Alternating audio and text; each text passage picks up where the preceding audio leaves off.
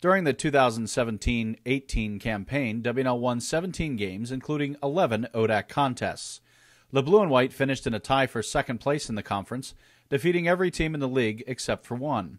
The Generals won three games against regionally ranked opponents and reached the semifinals of the ODAC tournament after a quarterfinal win over Guilford College. Senior Nick George was named the ODAC Men's Basketball Scholar Athlete of the Year, while classmate Clayton Murtha earned first team All ODAC and third team All South Region laurels. He went on to play in the NABC Senior All Star game and finished third on the school's all time scoring list with 1,845 points.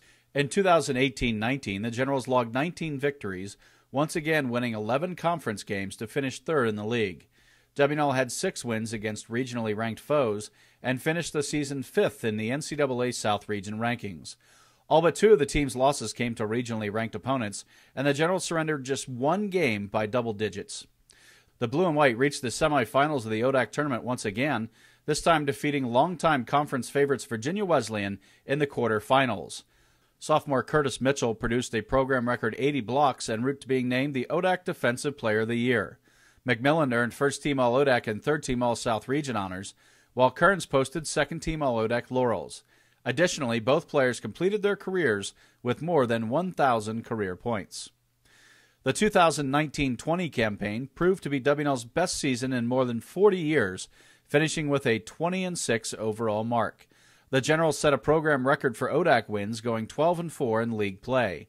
After opening the season 5 and 3, WNL won 15 of its final 18 contests, posting a plus 9.7 scoring margin and finishing third in Division 3 in defensive rebounding. Senior Kevin Denon and junior William Brueggemann both topped the program record for single season three pointers made, as both finished with 70 triples. Mitchell blocked another 66 shots to earn his second straight ODAC Defensive Player of the Year award, also adding second team All League honors.